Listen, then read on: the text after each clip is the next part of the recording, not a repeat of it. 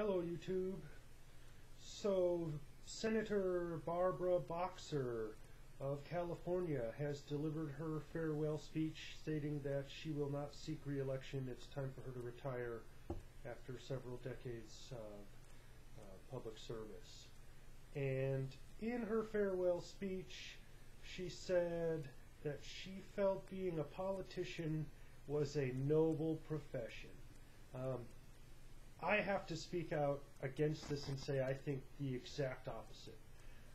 I don't think there's anything noble about being a politician.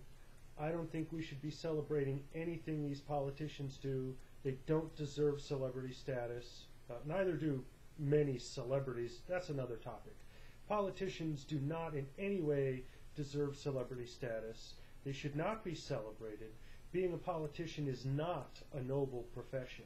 Um, it's a profession that's sought out primarily by people who want to lord over others, uh, by people who want to use the power of government weapons, uh, you know, state and federal police forces to force the minority to do the whim of the majority. Okay? The 51% gets to point a gun at the 49% and tell them what to do and how much money to spend and where to send it to. Uh, that's what politicians do uh, in my lifetime. So I don't see anything noble about that profession.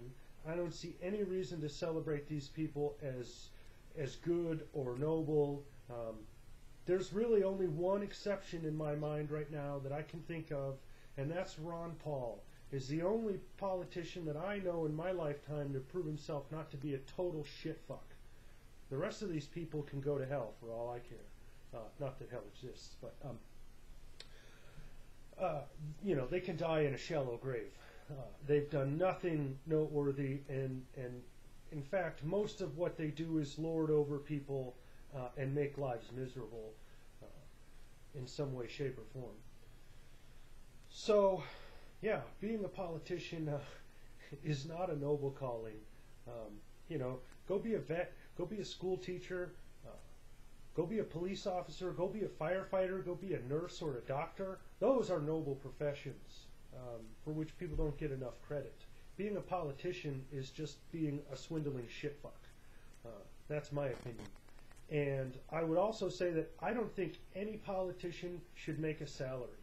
Period. I think being a politician should be the most humiliating, stressful, awful job on the planet to the point where the only people who are willing to do politics are the true servants of life here on earth. The people who are so humble that they're not bothered um, by being put into that kind of situation of being the person that everyone hates, right? Because that's what politicians have devolved to in our current state in our world right now.